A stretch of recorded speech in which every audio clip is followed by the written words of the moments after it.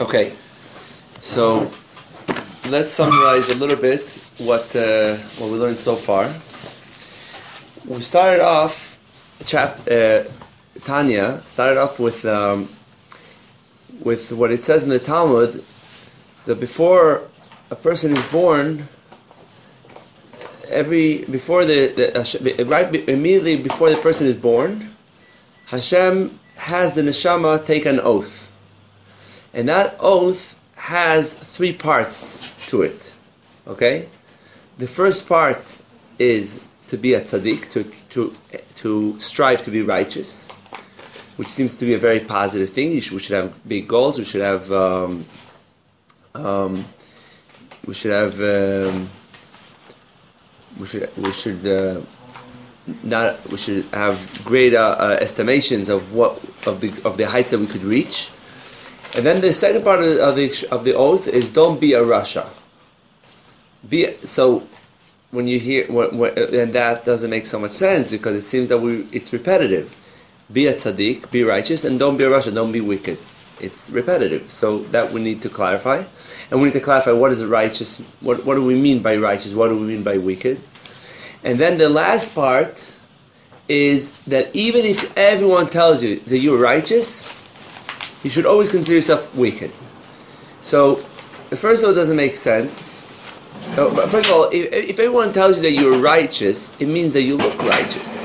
That means in your behavior, you're righteous. You're really very, um, very um, committed. You're um, you're fulfilling all the mitzvot, all the commandments, and that's why people are thinking that you're righteous, and you should still think that you're wicked. So, besides the fact that logic doesn't make sense, like why, why shouldn't you, if people tell you you're righteous, why should you still think that you're wicked? But besides that, we said first of all, it seems that's contradicting what it says in Pirkei Avot. It says over there that a person should not Don't think that you're righteous in your own eyes. But then we think we said also it's not gonna it's gonna be a contradiction to one of the two foundations of Judaism, which is simcha, joy, and responsibility. Okay, the first thing, the the the the, the um, um, the, the, the, the first thing that it, this may affect is your is your feeling of joy. If a person, if someone tells you that uh, uh, we said that one of the most important thing is to have self, good self image. If you always think that, that if you think of yourself that you're wicked, and no matter what you're going to do, you're going to stay that way for the rest of your life. So it's a very bad self image that will make you very depressed, very unhappy. And how could that fit with the importance of serving Hashem b'simcha, which is a very fundamental thing in, in, in, in Judaism, to be happy, to, uh, to, be happy with the service of God. How are you going to be happy? You're, you're, if you're not going to be motivated at all to, because you think no matter what I'm going to stay wicked. So why you're going to be motivated to do anything? Because anyway, it's going to stay there. And even if you're going to end up doing something, you won't, you won't do it with any excitement. You just do it because you know, like they used to say, "It's hard to be a Jew. I got to do it," you know. So, and if you're going to make the impossible and say, I'll still be happy, I won't pay attention to the fact that I'm always wicked, that's also bad. Because if you don't care about being wicked, it becomes a point that you don't care about sinning. And then you're, you won't be responsible, you won't take it seriously anymore. And that's also not, not good because we know that in Judaism we have to realize um, that every every action that we do makes a big difference not only for ourselves for the whole world like we like we spoke about the other time like you mentioned about the scale that, so it's very important to to be very accountable for what we're doing. So it's not going to work okay?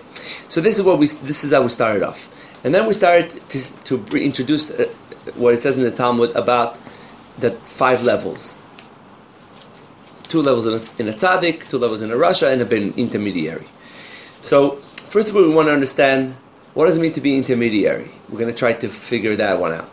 And also, what does it mean to be righteous, to be wicked? Is it something internal, like what's going on within yourself, or is it something about your behavior, that you, uh, about about the way things are in your um, yeah, or is it about your behavior? And also another another question when it says tov lo ralo, good to you and bad to you, is it talking about your inclination, or is it talking about your um, the, the, way things are in your life, like the way life treats you. So at first we brought the pshat in the Gemara that it's talking about how life is treating you. So if life is good for you or not good for you, and that depends. We said for a righteous man, usually if life is good for him means he's perfect. If life is not good for him means that he has some kind of, of negative that he has to uh, that he has to cleanse. And for a week it's the opposite. Okay, that was the pshat. That was a simple understanding. And then we went deeper, and we said that we're really talking about something more internal. We're talking about whether you're, and, and we are trying to we're starting to say we're starting to learn. We started to learn last last week that when we say righteous, it's not just about your behavior that you're righteous. We're talking about, oh. When we say, um, basically, this is what we're going to start off today with this with, with, this uh, understanding that there is two areas that are important in one's life. One is the external, and one is the internal one important thing. Hi. Welcome.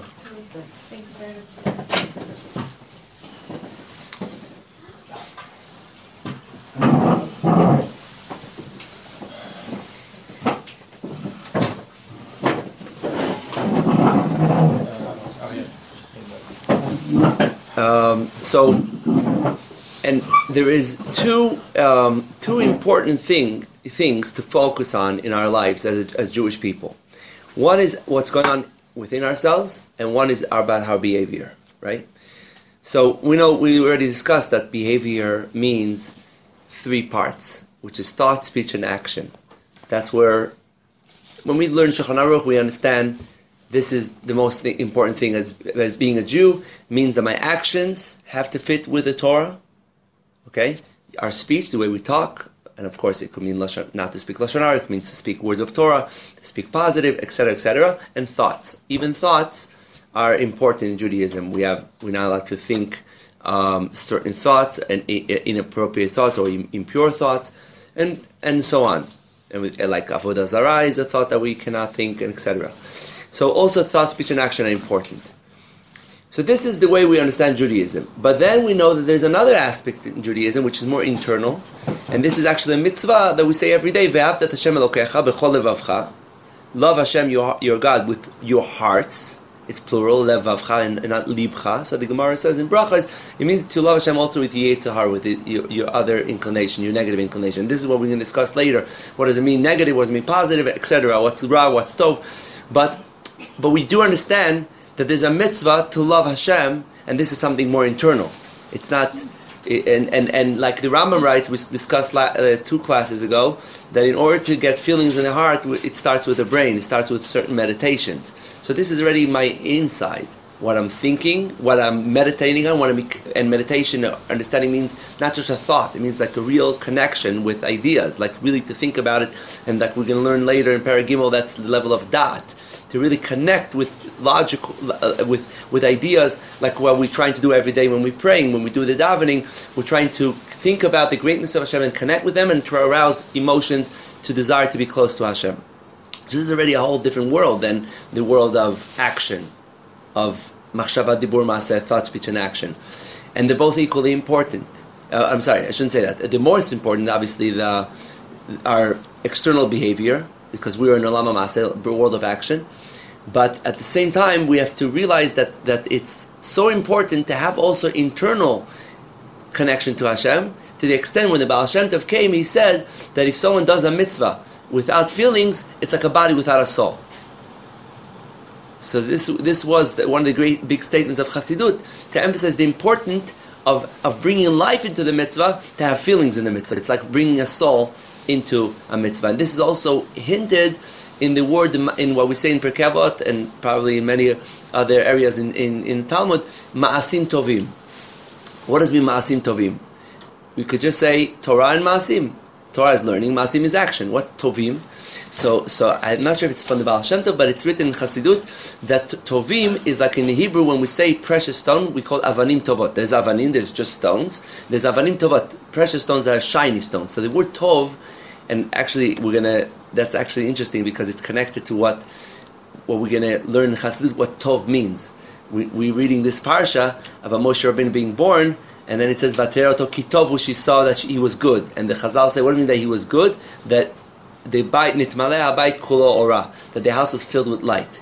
So also um, Vayar Hashem et or what's the word kitov. So we we learn we learn that's how we learn that's how the Gemara learns it out. But tov and and or comes together.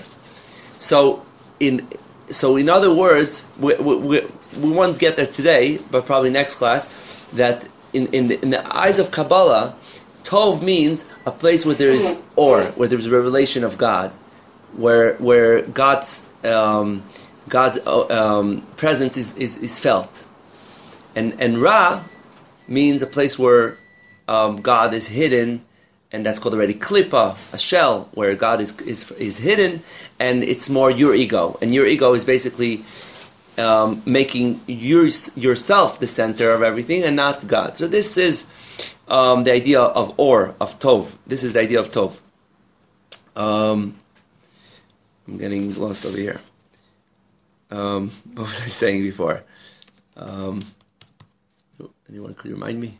Oh, uh, oh, so so so um, so we were talking about the importance of um, of our internal, right? That that we should be connecting to Hashem not only in our in our external, not only in our thought, speech, and action, also in our um, in our um, in our in our in our inner self.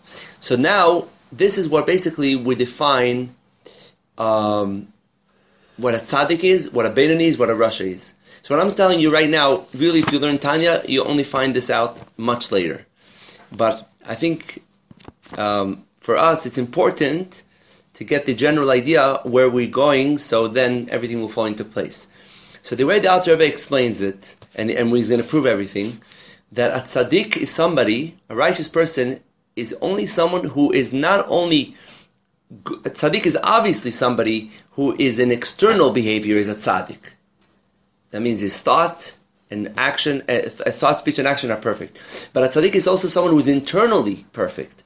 That means that he only has yetzer tov.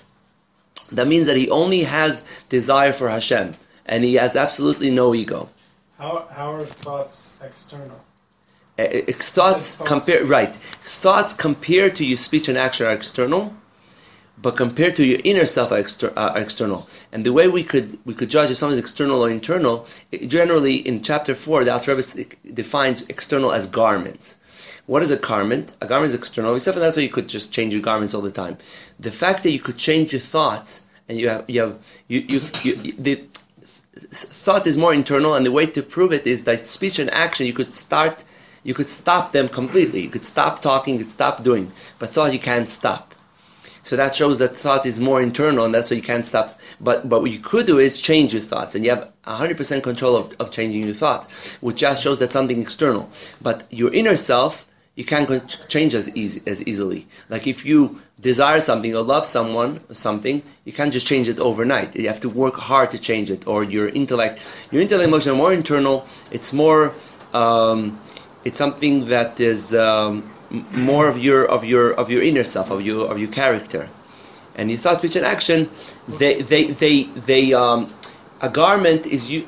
It's usually your natural way of talking and speaking and thinking is going to be um, a um, expression of your inside, but you have, you could change it, and this is the idea of a garment. Like you could have a poor man wearing garments of, of a, of, a, wealthy man and a wealthy man wearing uh, garments. So you, you could be inside um, in in a very uh, like you could have very uh, you could be very negative. Um, you could have very bad um, bad and negative feelings inside, and yet to make yourself be involved in very positive mitzvah or learning Torah. So you're able to the, your garments could change, could, and that's what, what defines garments, what it defines external.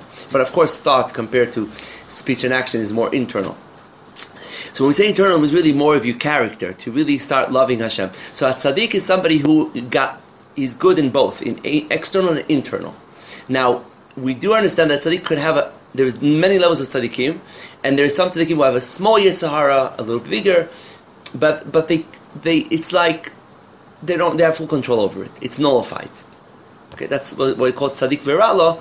That the negative side of them, they, they may have a small yetzer because to be 100% tzaddik, 100% yetzer tov, that's very few tzaddikim. We're going to get to it hopefully today. That very few tzaddikim have, reach that level that they have absolutely no yetzer hara. But uh, there is many tzaddikim, which, I mean, even to be a, a, a, a, a tzaddik that, that has full control of his yetzer hara is also a very high level, but there is more of those they still have a yetzer, but yetzer is like a sleep. It's not really activated, so it doesn't. So they don't really feel the yetzer as much, even though he could wake up any day. So they have to be careful. Okay, so that's a tzaddik. A rasha is someone who is uh, who is who is lacking in both. That means that he not only he has a yetzer hara, but also from time to time he may sin. And if we understand what a rasha is, we understand that unfortunately we own that category because no one could say I'm perfect, I never do anything wrong. Okay, and we're going to see today, Mirz Hashem, that this is also according to halacha. Um, now, a Benoni, what's a Benoni? Intermediary, according to the Tanya. An intermediary, according to Tanya, means that he is halfway like a tzaddik, halfway like a rasha.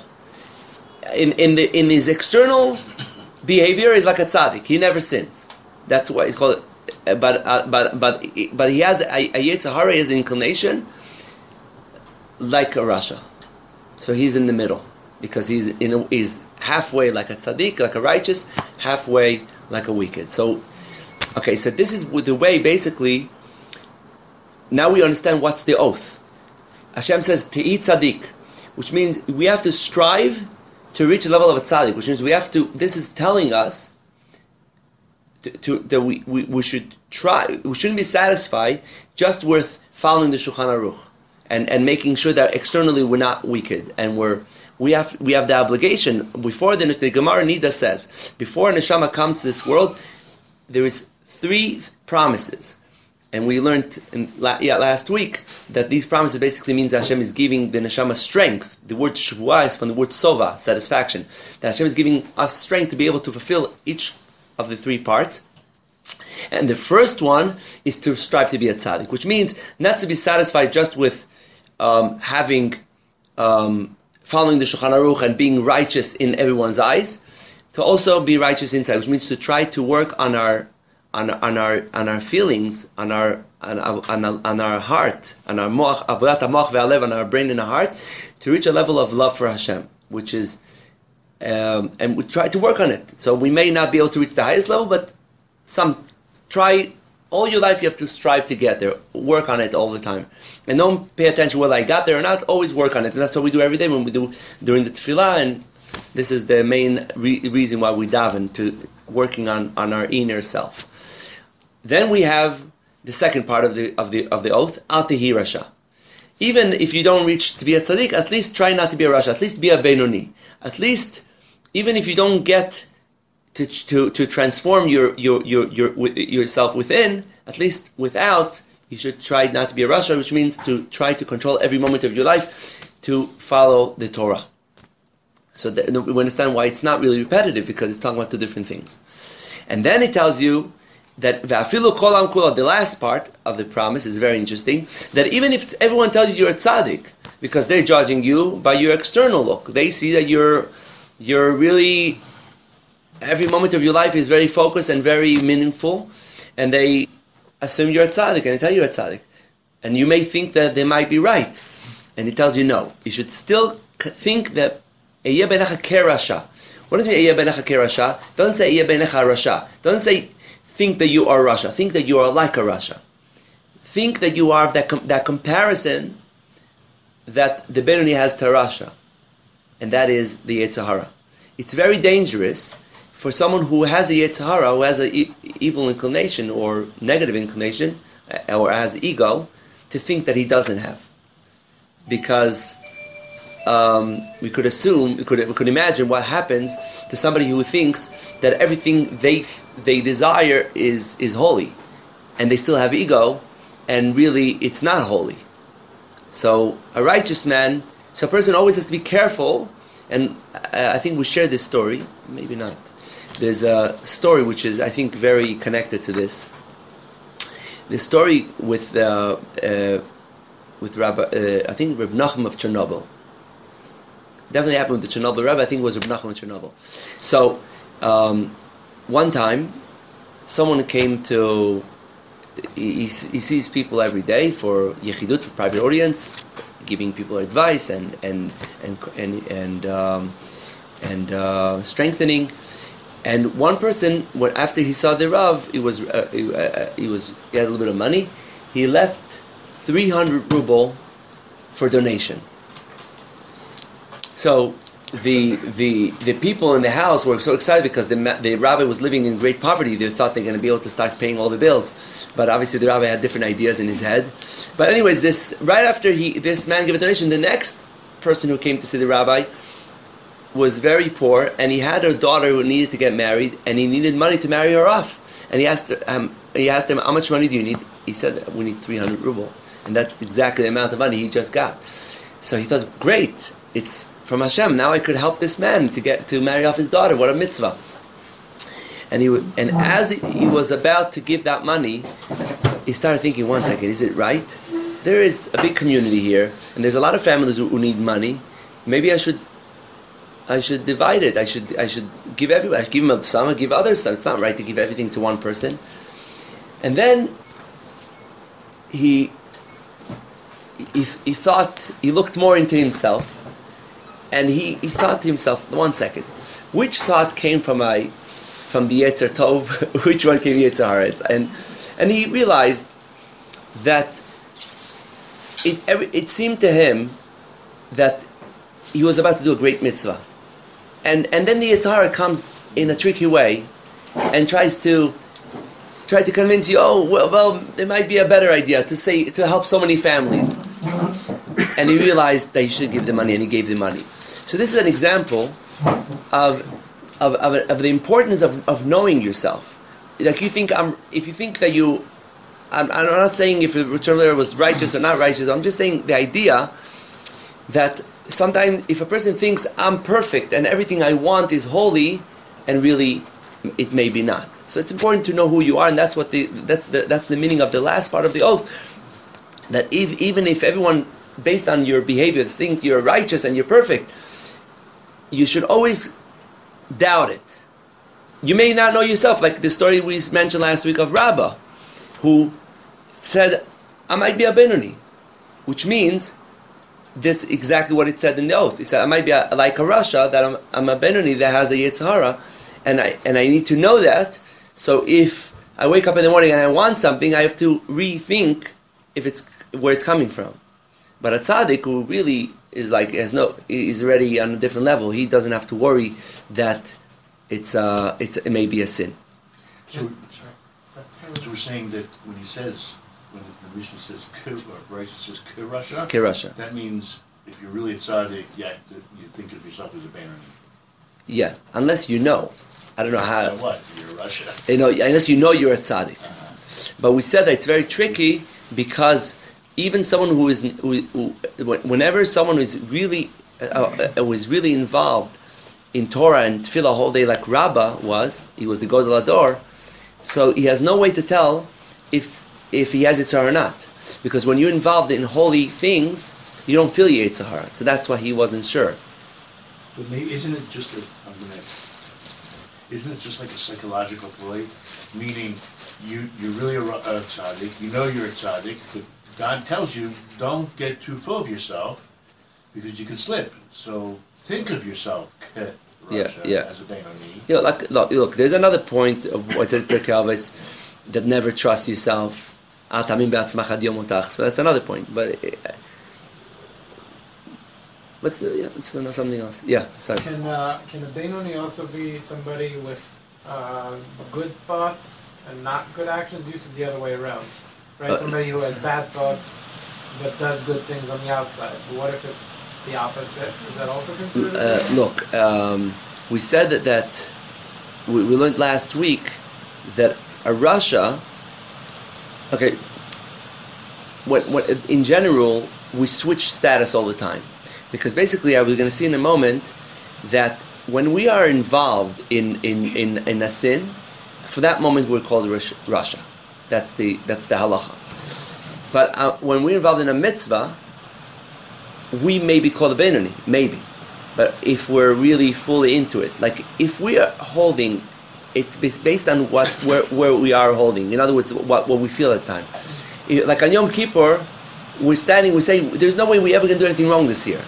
We, a Benoni is not someone who is actively doing mitzvot, someone who is in his mind, there's no way I'm gonna sin.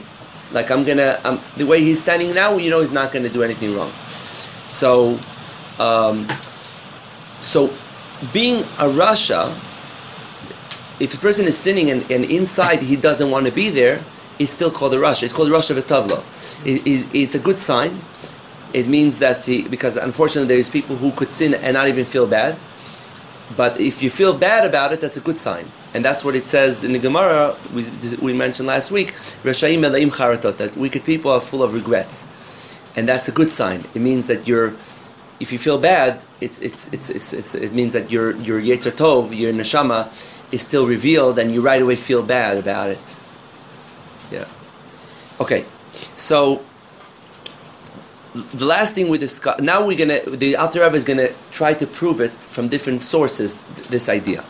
The first thing that we discussed yesterday, which already mentioned, the story of Rabbah, and the second thing we mentioned yesterday was the story with Iyov, where Iyov turned to God and he said, "God, you have no excuse to punish the wicked people because you made them wicked." And we asked, "What does that mean?" And and we said we said on the other hand we know that we have free choice. Okay, so to, to and the answer is to have a free choice is when it says in the Rambam that we could have free choice to be like Moshe Rabbeinu, not to be internally like Moshe Rabbeinu. We're talking about externally. So this is the the, the way to, to understand a lot of pieces of Talmud that, that you have to see what we're talking about, external or internal. We could all be like Moshe Rabbeinu externally in our thought, speech, and action because um, because we have free choice and we have full control. So we, we could be righteous in our actions, but not righteous inside. Righteous inside, that's not really in our hand. We may get be lucky if we work on it. We may get there. We're not, not for sure going to get there. Um, and basically, according to Chassid, this is what Korach was fighting about, because according in Korach's eyes, if the most important in, in Torah is your behavior, and if we're all kula- kulam kedushim, everybody is holy, everybody is, is heard Hashem talking on Mount Sinai, and we all and we all do the same mitzvot. What what makes Moshe Rabbeinu or Aaron greater than the rest of us? But we understand that it's not so. Now, Iyov, he said he when he, what was he saying? How could he knew that there is free choice? What does it mean when he says to God, "You created the wicked"? And God accepted his his his, his argument, and all God says was, "Well, I give them the Torah. With the Torah, they could have strength. They could have strength and fight their their Yetzer Hara." So basically, if we understand what we just learned, it makes hundred percent sense. What he's complaining about is it's not fair that some people have the potential to become tzaddikim and to get rid of the Yetzer Hara, and some, no matter what they're going to do, their entire life they're going to stay with the Yetzer Hara. And and we're going to learn on later on that when we the more we mature, the more the, the Yetzer Hara is like we just mentioned a moment ago. It's basically based on self ego, and that ego only strengthens as ta- as as we continue living our lives. Even a benoni, somebody who is always perfect in his behavior, his inclination is growing because because because this is eh, based on physicality. The physicality is associated with ego, and the more you live a physical life, every time you have another another meal or you have another physical experience, it strengthens your physicality, which is your ego. So, so uh, that, that's one of the things that the Alter Rebbe teaches us because it's important for people not to get depressed. Because I, for so many years, I am learning, I'm doing mitzvot, and yet I have crazy inclinations. So the Alter Rebbe teaches us that's that's normal. We shouldn't uh, we shouldn't uh, be surprised. And and this is this is one of the big things that the Alter is going to talk about later, how this to deal with this. But um, um, but um, what was I saying? Um, but Iyov was, was trying to say that it's not fair that, that some people, no matter what they're going to do, they, they, they're always going to gonna, stay with those challenges. They're always going to have a Yetzer Hara. And that's what he said, Barat Reshem, it's not right. How could you punish them? But Hashem says, you're right. You're right that, that it's very difficult for them, but I still gave them, gave them I gave I gave people the Torah with the study of Torah, like we, like the Gemara says, if the Yetzer Hara atta- attra- uh, attacks you, just pull him into the Bet Midrash, into the house of study. So you could deal with the Yetzer Hara. There is a certain truth to his claim that it's not fair, like there, there's chosen people who could become righteous, but this is the way it is. We don't we don't understand God's ways. It's, that- it's like a it's like a gift. Um, what is the gift? What's the difference between a gift and when you or a sale when you sell something? When when someone when you are when if you're uh, if you have a store or whatever and you're selling a certain product, so if a person comes to you, they, let's say it costs hundred dollars, you or hundred shekel, he gives you hundred shekel, you, you give it to him. So by, by a sale, you're basically getting what you're paying for. But with a gift, doesn't work that. A gift, someone pleased you, and he may have pleased you in something small, and you're going to give them a much bigger gift that is worth a lot more. So it's not basically you're not really paying for what you're getting by a gift. Also, a gift is not guaranteed. You're not for sure. You know you're not going to give a gift to anybody who pleased you. Okay, but um, if you decide to give him the gift, because give him or her the gift, um, you're basically giving them a lot more. So it says that to be a tzaddik is like a gift. What does it mean a gift? You're not going to give a gift to someone who didn't please you. So a tzaddik is somebody who really pleased God with his behavior, which means that he was working on his inner self for could be a few years, many years, and eventually Hashem decides to give him that gift and take away his Yetzer. And that's what happened with King David. We're going hopefully we're going to get there, today. That he, um, after the sin with Bathsheba, he fasted and he worked hard, and he came to the point that he said, "Velibi halal v'kiri" in Tehillim. He says, "My my heart is hollow. I got rid of my Yetzer Hara," and he was able to reach there. Hashem, it was a gift, but it, it was through his effort. So But Ya- Yaakov gave a gift to Esau. well, it's true. So the point is that this is what the, the, the what Iyov complained about. He said it's not right. Why is it that some people they, they uh, Hashem gives them that gift and some people not, and some people always have to struggle with the Yetzer Hara. Okay, now let's continue. Um, we're holding um, on page Daf Hey Ve'od. Very good. Ve'od on the bo- on the first page. The first page. It's on the bottom. The small the small page is on the bottom pages. It's number two. Seven lines at the bottom, second word from We're continuing to to prove what is a Benoni and what is a tzaddik and what is a rasha. Ve'od and and, and moreover sheharei b'sha'a she'oseh avarot nikar rasha gamur. When a person commits a sin, he's con- considered 100% rasha, and which and and, he, and such a person cannot be a witness. So it's talking about, you know, unfortunately, in a way, you could say nobody could be a witness. But the question is, how does a person sin?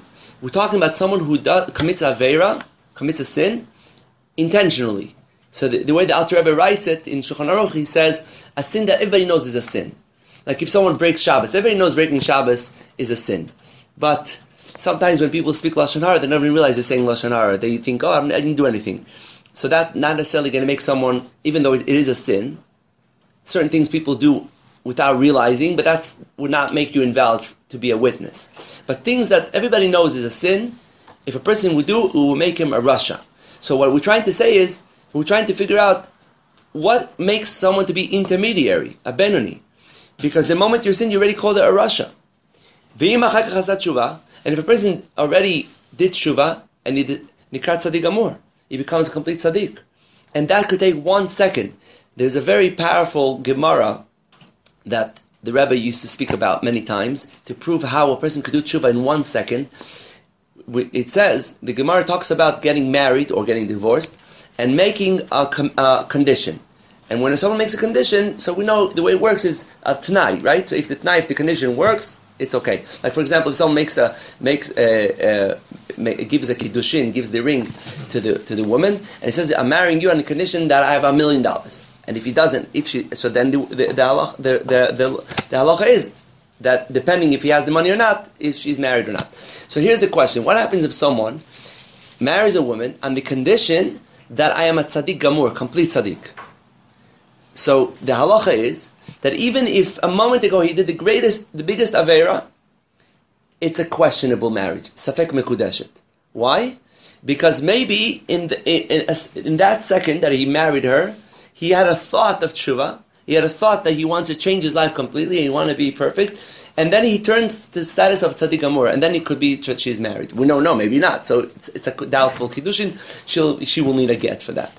So we see from that that that there is no benoni. If we're talking of either you complete tzaddik, if you are um, if you do tshuva, and and and and if you if you sin and before you do tshuva, you complete rasha. So where is a benoni coming into the picture? And you may think maybe to be um, to be a benoni is someone who did a small avera. So what is a small sin? What is a small sin? Maybe a small sin. Maybe it means someone who just did a rabbinical prohibition, or maybe someone who didn't protest. Now, really, to protest limchot is a mitzvah of the Torah that says et. But there is two types of of uh, of. One which is biblical and one which is a mitzvah. One is not a mitzvah. If you see someone committing a sin intentionally, and you, and you don't stop, you don't uh, rebuke them for doing that. That's going against Ochech Tuchech. It's a positive mitzvah in the Torah that if you see a fellow Jew committing a sin intentionally, you should st- you should tell them, to speak to them, try to influence them not to do it. But then, what happens if you see someone committing a sin, doing something wrong unintentionally? So that's not included in Ochech Tuchech Tamitecha. That's already a different category. That it says in the Gemara that, because Israel arivim zelazeh, we guarantors for each other, and we have the obligation to correct each other. So this is not part of this mitzvah. So maybe, uh, and that this is basically going back to the uh, uh, big the chet ha'egel, the sin of the golden calf. Not everybody was involved, and everybody was punished because, and those who were involved, they may have made a mistake. It wasn't a mezid. Maybe it was shogeg by many of them, and everybody was involved was, was was responsible because they didn't protest. And also, when we had the first Bet Hamikdash, Hashem originally didn't only wanted to, to punish the Reshaim, and then the Gemara says that that was the only time that a good prophecy was changed, and um, and over there also because the, those who were righteous did not protest or did not try to influence those who sinned. So so maybe you would think to yourself that that defines a Benoni. It's I'm not a, a Rasha, I didn't do any Avera, I'm not Tzaddik because I saw somebody doing something wrong and I didn't stop them. Maybe that's what makes a Benoni an intermediary. And the last choice, so the so uh, so the, the Alter Rebbe says no, it's not like that. Because if we look in the halacha, it says "Va'afilu over alisul kal shedivesofrim." Even someone who, who goes against a, a, a light prohibition of the rab, rabbis, mikir rasha, is con- considered a rasha. As it says, "Beperek bet Yevamot, beperek kamat dinida." This second chapter of Yevamos, first chapter of Nida. Even if somebody could has the ability to, to protest and he doesn't, nikarasha. There's a story of, um, of it says that you're not supposed to protest if you know it's not going to make a difference. It says it, someone says it's better, it's just like it's a mitzvah to say words are going to be heard. It's a mitzvah not to say the words are not going to be heard. That's the halach in Shulchan Aruch. Sometimes we, we keep quiet. Um, so there was once a, a, a widow who owed a lot of money to the bank back in the days, and they and and the, the rabbi decided to go and, and basically the rich man who was running this bank um, was very strict and basically the rabbi decided to go to go to his house. Nobody understood why he's going to his house. There's no chance of getting anything from this guy. He walked, he knocked on the door and the, and the, and this man was so excited. Wow, the rabbi came to visit me. And he comes in and he offers him a cup of tea, whatever it was. And then finally he says yes. So the rabbi keeps quiet. He doesn't say anything. He says, You came for something? He says, Yeah, I came to do a mitzvah. He says, What kind of a mitzvah? It is a mitzvah that, that, just like the mitzvah to say words that are going to make a difference, that are going to influence the mitzvah, not to say words that are not going to influence. So I to the mitzvah to be quiet. so he says, What is it? How do you know it's not going to make a difference? Maybe it will make a difference. He says, No, no, I know it's not going to make a difference. He says, How do you know? Finally, he, he told them. He said, There's this widow who owes a lot of money to the bank, and uh, her family uh, she has little children. She, she what? I mean, it's a, it's a, it's a big problem. Like she needs help, And they start saying, well, I can't do anything about it. I'm just the banker. It's not my money. I can't, you know. And obviously, I told you that it's not going to make a difference. so, so, so then he says, okay, you know what? I'll see what I could do, and he took care of it. Um, so there is a mitzvah. Um, limchot, mishish biadon If you have the ability, this is what it says over here. Mishish biadon limchot. Somebody who can protest. In other words, sometimes you know not, it's not going to make a difference, and it's better to be quiet. But if you know that it, you have the ability to influence, um, and you didn't, nikra rasha. Like it says, um, this this the, the previous Rebbe said that the, the the mitzvah protesting, so many people don't fulfill it right because people know okay the mitzvah to protest to, to rebuke each other. Every time you see someone doing something wrong you right away have to tell them off. Mm. but if it, in the same place where it talks about the mitzvah of rebuking first of all it says et amitecha and amitecha means someone who amit in hebrew means someone who is like on your level. If you telling off somebody else and you feel like and you talk to them like they're below you like you t- talk, talk, talking down at them First, besides the fact that you're not going to influence them that way, but then you don't have the mitzvah. It's only if you're able to feel like you're talking to them with respect, like they're on your level.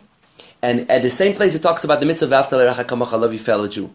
So we learn that the only time that you have this mitzvah, it's coming out of love. Because it says in the same place, love your fellow Jew and don't hate your fellow Jew. If you feel anger towards the other or hatred because of what they did wrong, then first of all you have no mitzvah to rebuke them, and if you will rebuke them, it's not even going to help.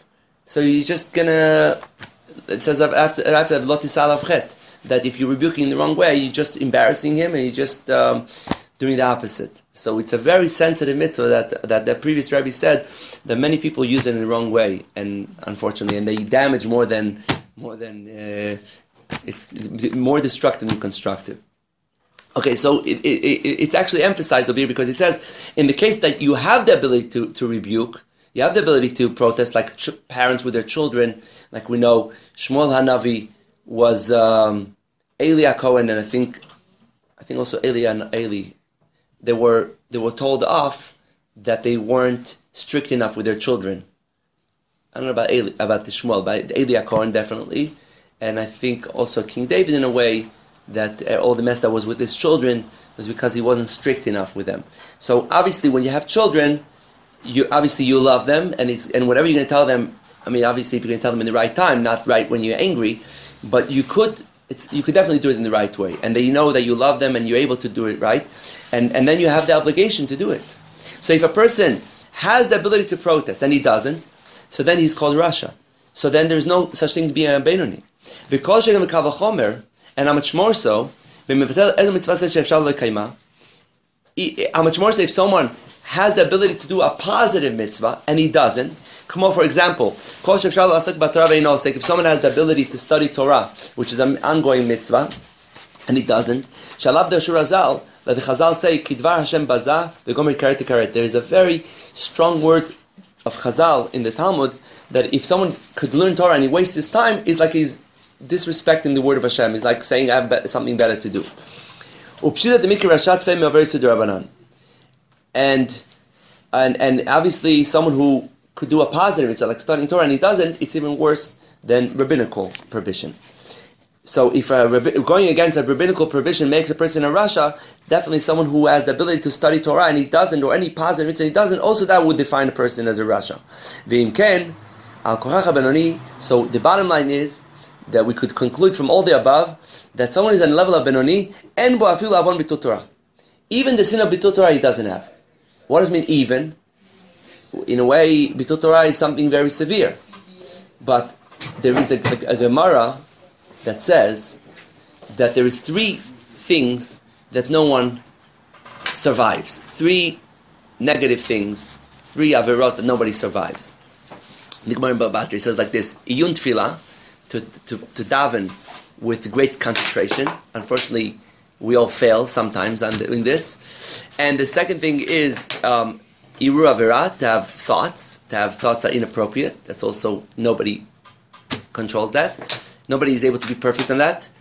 Um, and the third thing is avak lashon hara. The Gemara says lashon hara. No, The Gemara says, no, not Lashon Hara, Avak Lashon Hara. Avak Lashon Hara is a dust of Lashon Hara, dust of, of negative talk. Which dust means when you don't realize, like for example, anybody knows the example of Avak Lashon Hara? When you're speaking positively about someone. Exactly, that's good. Right. You speak to spies to somebody, next somebody who could be jealous of him, and you say, oh, what are you talking about? You, you, you start talking about the person's negative things. Or next to his enemy for sure. So that could be a dust Lashon because you didn't say anything bad, but you caused bad language to be spoken. So, so these are the three things that it says in the Gemara that everybody fails. Okay? Now, it's not talking about Bitul Torah, but we could derive from it when you speak Lashon Hara, obviously you're not speaking words of Torah. And actually, it's very interesting. What is Bitul Torah?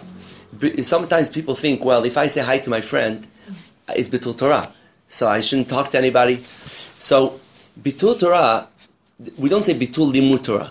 Bitul Torah means that you're are wasting, that you that you are nullifying or the Torah, which means if you are doing a mitzvah, it's not Bitul Torah. Bitul Torah means that you are that you are going. It basically means that you're not conducting your life according to Torah. Okay, that you, if you are saying, if you are greeting somebody else, okay, for example, this is kiyuma Torah. This is not Bitul Torah. Okay, so the Bitul Torah means when a person is able to learn and he doesn't learn, and instead of learning, he's doing something that is absolutely um, waste of time.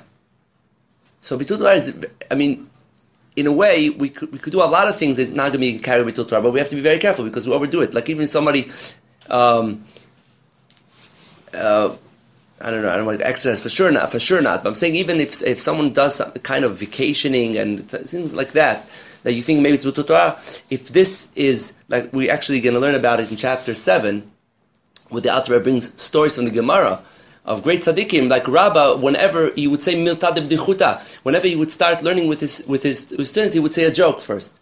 And you think, what's going on with this rabbi? This this is the Gadol Hador, and he would, it's Bitul Torah, saying a joke. so it's true. It says that, but the great Torah scholars, even from their jokes, you could learn a lot of Torah. But it, and it's talking about drinking wine.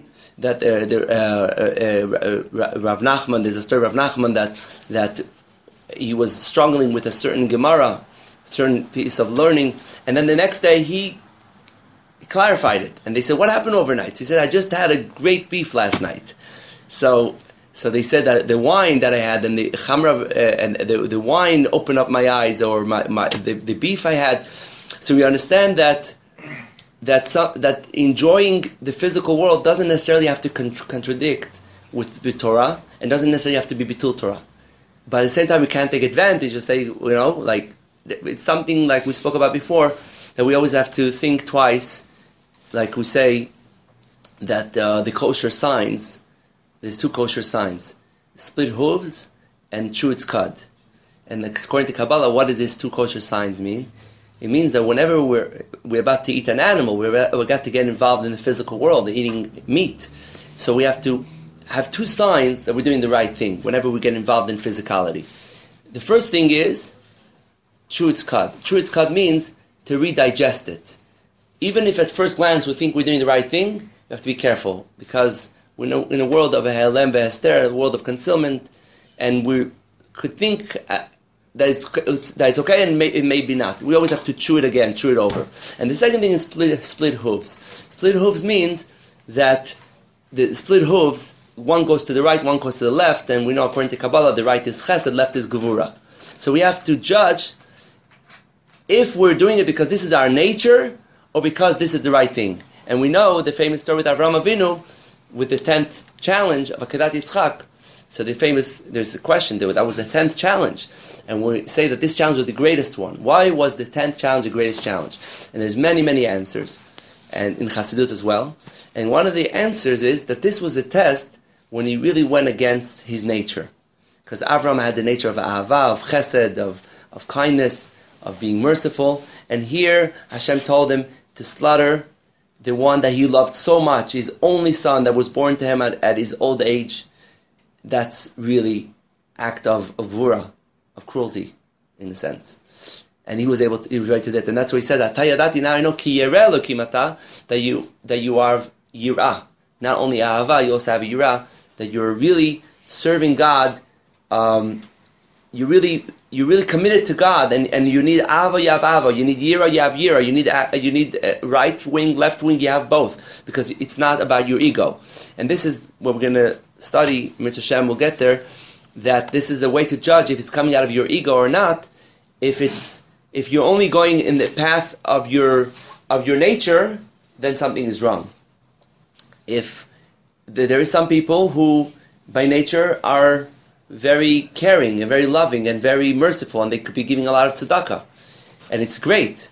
But but to be a real Oved Hashem, service of servant of God, you have to see that you're able to go the other direction as well. You're able to be in the in the in the, in. That's because you know everybody has their challenge. Some people have a challenge to give. They're more they like to be disciplined, and they like to and they like they love Shulchan Aruch. And it tells them exactly what to do, uh, how much and how when and what time to wake up, when to go to sleep, and what is it. They love it. And there's some people who are more, you know, um, I don't know what's the word for it, more uh, open and more easygoing, and they love more. And they and for them that's a struggle to to have all these instructions and halacha and all these uh, details and you know they like, they want to be able to talk anytime in davening and you know like things like that. It's like to be easygoing, but then when it comes to tzedakah, they have no problem to give and to to be nice. To, so everybody has this struggle, and we have to split hooves means that in order to know that we're doing something kosher, that we are in a kosher direction, is to be able to to go wherever it's necessary, chesed or gevura, that we're and like the Ramban writes that it's impossible to have that only in avodat Hashem in the world, a person who has chesed was, was in the mode of chesed, it's hard for him to change the gevura. It's not possible to either a person is has is, is on the line of, of chesed, is like uh, open and outgoing, or gevura, or is like strict and whatever, like in the lane in the left or right. But only in Avodat Hashem we have the ability, because we're talking with, with a godly soul that is infinite, and here we could have the both, like Avram did. Like we could we could have both Avat Hashem and any Rat Hashem, which uh, what's what's what are we doing with time? It's five to nine. Five to nine. Okay. Do you have any questions or? Could you, I mean, when you said chesed, and the split hoof, which was left and which was right? Chesed is right Okay. and Gvura is left. Yeah. Just to conclude, oh, I'm sorry, you say. Oh, no. No, just to conclude. So what we're, what what we're saying right now is that in the Gemara, when we say tzaddik or rasha, it's different than in the medrash or agada of the Gemara. Halachically speaking, um, someone who is um, to be called a tzaddik, the, the halacha is like it says. There's a Gemara saying, "En la dayan al that a judge could just based on what his eyes see. Halacha is based is more is, is about external.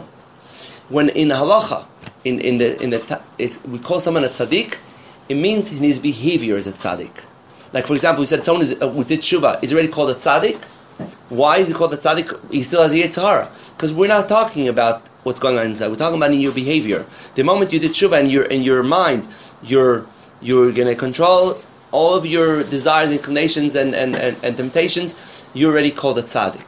Okay, um, that's in halacha. Also, we're gonna learn next week, hopefully, that. Um, that also on Rosh Hashanah, when we say a tzaddik, it's like when you have a court case, and and you're you're judging about a certain case, and you're saying this guy in in in um, I don't know if you said in English, but in in Hebrew, when someone is is is is um, comes out to be uh, zakai, you could say zakai or tzaddik, righteous, tzaddik bedino. So when we say he's righteous in the judgment, doesn't mean that he's righteous in everything he did in his life. In this case, he came out the righteous one, and the other guy became the wicked one. So this is not. This is another way to say a tzaddik. A tzaddik means on Rosh Hashanah, when Hashem on Rosh Hashanah Hashem judges us on the scale, and if we have majority merits, and we discussed the other day that merits doesn't mean quantity, it means quality. Sometimes you could do one mitzvah and put so much effort, it could be weighing a lot. And sometimes sins that we do, like Rabbi Yitzchak Berditchev said, that we says that we never that it says that every time you do a mitzvah, you're creating a good angel.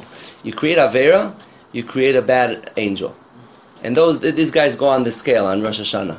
So the uh, Rabbi Levi Yitzchak said that he never saw an angel that was created from a from a sin of a Jew that was hundred percent um, that was that was hundred percent that didn't have any blemishes. He says one one angel's missing a heart, one is missing a head, because even when a Jew sins, he doesn't feel so good about it, and he it's missing something. This it's not a healthy angel. The bad angels are not hundred percent healthy. They don't they don't have all their organs. Something is is it's not perfect. so anyway, so even chas v'shalom, when a person sins, a lot of times there's a lot of pressures and a lot of, and it's not done like leteavon, like the famous story of this rabbi who who came on on, on uh, Tisha B'av, no Yom Kippur.